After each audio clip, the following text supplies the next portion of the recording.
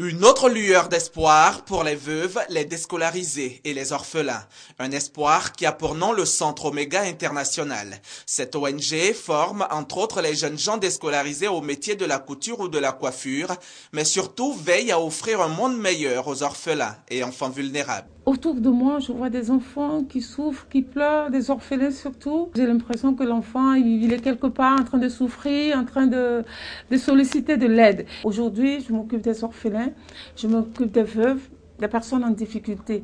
En plus de nombreux micro-projets qu'elle finance, Ba Christine, au nom de son ONG, distribue régulièrement des kits scolaires aux élèves et fait plaisir aux personnes démunies à l'occasion d'arbres de Noël et de fêtes des mères. Mais son rêve est plus grand. Nous savons qu'il y a des enfants de la rue, il y a des enfants qui souffrent, il y a des enfants qui dorment dans des voitures, dans des vieilles voitures, euh, dans, des marchés, devant des, des, des, des, maquis.